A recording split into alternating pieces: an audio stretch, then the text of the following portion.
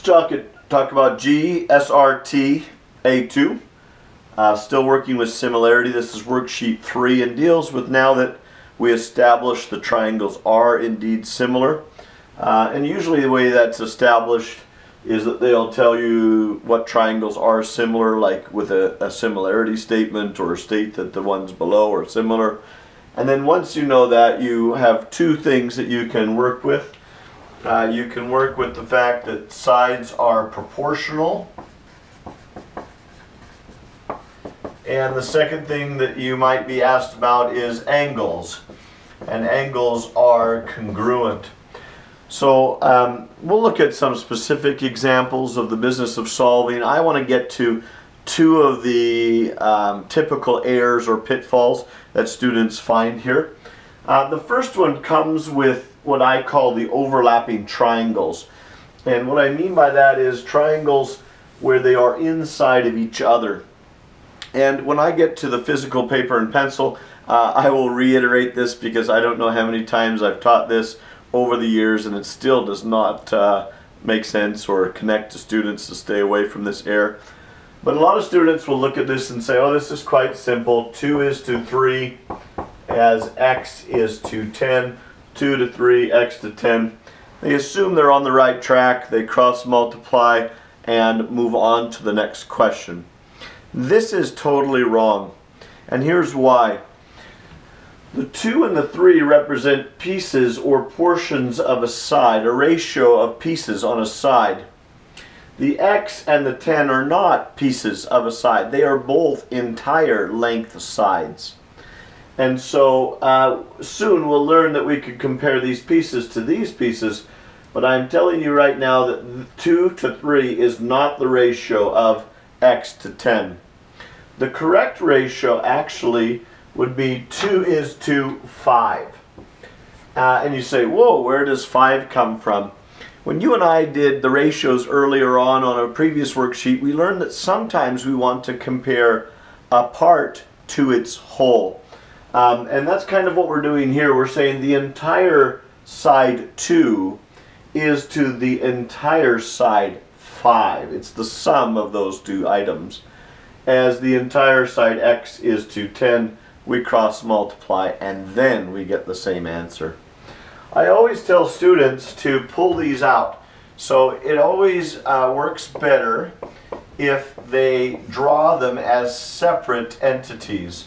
And uh, again, you can mark them or, or show them uh, however to keep track of, of those angles and things so you can see how it works. But you can see the 2 is to the 5 as x is to 10. The other thing that happens, and I love this kind of tricky question, Unfortunately, teachers like tricky questions. But students will be told that the, these two triangles, uh, and maybe I should create a, a, statement. So let's call this A, B, C, D, E, and I might say triangle ABC is similar to triangle EDC. Now, now students will immediately look at a problem like this and say, ah, I see uh, how it goes. Or actually, what, they'll what we probably need to do is uh, drop, say, one of, one of these values and solve for x. So um, students will go, I see 5 is to 10, no problem there. Um, and they'll say, let's see, uh, 11 is to x. Um, so they're saying the 5 is to this 11 is this 11 is to this x, and they solve. And you say, yeah, that's the way to do it. But be very careful. When there are no angle markings, you have to realize that things, if they are similar, group proportionally. And so what that means is the largest in this triangle must go to the largest in this one and so on. And so uh, the smallest is the 5 to the 11. And then uh, the other thing you can use is, is notice it's ABC and EDC. So ED is to match up, ED is to match up with the AB. So actually to solve this, it would go 5 is to 11 as 10 is to x. I think what's happened is it's been reflected and enlarged. You need to use all of your clues. Use the uh, congruent statement to help you to know who goes to who. Use the fact that if there aren't markings, uh, but they are similar, then it will always be smallest to smallest, middle to middle, large to large. Let's go look at some. Once we know things are similar, we know two things. We know they'll have congruent angles and that their sides will be proportional so in this case, they are actually telling us here that these guys are similar and then want us to solve things. Now the similarity statement certainly helps us a lot to know, you know, which sides match up with which sides. So for instance, I have a 2 here. This is my CD. It's 2. And I want to know which does it match in the other one. So CD here matches up with uh, CB.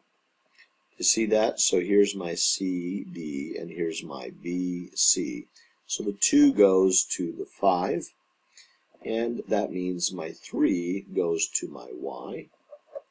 And it also means that the 2 goes to the 5 and the X goes to the 8. So you just set up the proportions uh, and then solve. But can you see how I was able to do that? I, I found out using my similarity statement 2 to 5, 3 to y, 2 to 5, x to 8. The 2 to the 5 is the very important one to find because that's your, your scale factor between the shapes. And then you just cross multiply and uh, solve for x and for y. Here, uh, here's another situation. Again, it says these are similar. It doesn't give us a similarity statement, but this time it gives us some angles. so watch carefully here. Um, I'm going to use the 3 right here just because it's the first thing I saw. Now it's between the vertical angle and the dot. So the vertical angle in the dot actually is the y in this case. Um, so let's try the 4. The 4 here uh, is between the vertical angle and the star, which is the vertical angle star is to the 5. There it is. So 3 is to y as 4 is to 5 in this case. And then uh, we could do the same thing. 4 is to 5. 4 is to 5 as x is to 6.25. And then again, cross multiply and solve. Be very careful, uh, obviously, about looking carefully at the angles and those types of things. Now, this is the classic uh, overlapping triangle. This is a dilation. Can you see it using vertex A? There's our classic dilation and uh, lots of errors are made here. And why they're made is because the 2 and the x are uh, a certain ratio, and the 1 and the 3 are a certain ratio. The 6 and the y are working on a different ratio set. Let me explain why, see if you can see it. Uh, the 2 is a full side of a triangle, but x is not. 1 is a full side of a triangle, but the 3 is not the y is, and the 6 is. So I always counsel students, pull these guys apart. And in doing so, you're going to label them as full sides of triangles. Let me show you what I mean by that. You see how the 2 and the 1 and the y, they are all normal because they're all full sides of the little guy. Notice the big triangle is not x, it's 2 plus x, and this side is 4, and this side is still 6.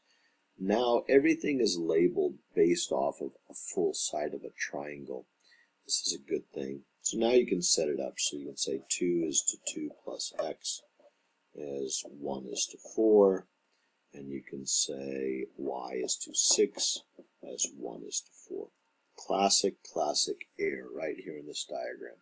Every time you have overlapping triangles, different ratios exist. The pieces, but also full parts. And you do not want to mix them. Here's what students classically do. They'll say 1 to 3 as y is to 6. Let me again explain why that's so bad. You're naming pieces in a ratio, but then you're naming full sides. There's no pieces in y and no pieces in 6. This is not the correct way to do this problem. Uh, maybe just a couple of quick other looks. I, I think you get, you're getting the idea here. Um, again, always be uh, cognizant of angles. So if I'm going to pair things up, be careful not to just pick things that look the same. But this 12 uh, is between the non-angle and the star, the non-angle and the star. So 12 is to 15.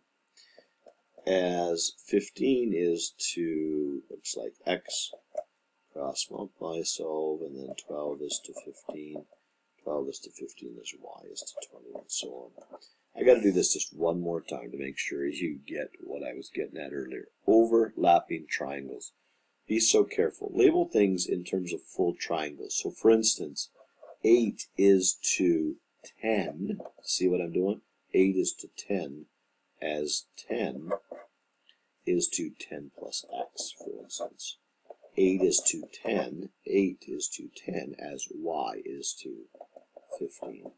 Classic, classic errors right here. Students say 8 is to 2 as y is to 15. Look at that. That's horrible. 8 is to 2 as y is to 15. Garbage. Be careful with that.